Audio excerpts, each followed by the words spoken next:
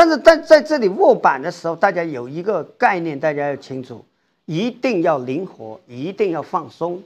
这里一定要放松，就是山上一样的放松。但是这里一定要紧，一定要紧。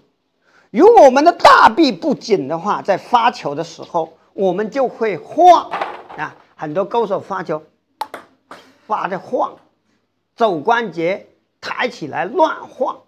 这个时候我们压住，它就能够。发出非常好的勾手发球，看到没有？因为我这里不晃啊，发球大臂是不晃的，紧张的。你不管你发什么，这里都是紧张的，而且我们的大臂一定是不能离开身体的。